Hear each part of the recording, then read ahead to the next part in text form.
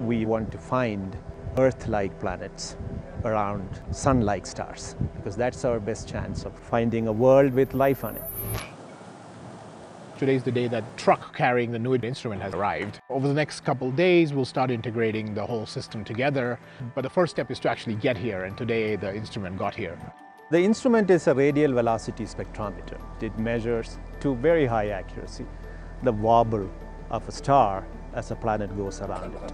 We are trying to do this, the level of sensitivity more than anything that exists at the moment. We're really gunning for is one of the most precise measurements of a frequency in astronomy. And I'm hoping we can get down to the point where we're really, we're really probing the limits of the star and nothing else. The idea with NEID is really develop something that is so stable that you're purely dominated by stellar astrophysics.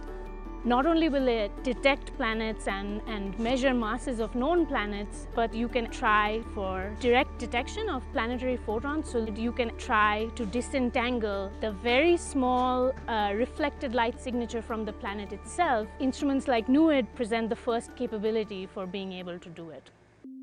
One of the things NASA wanted was an instrument that could actually help the community follow up TESS objects.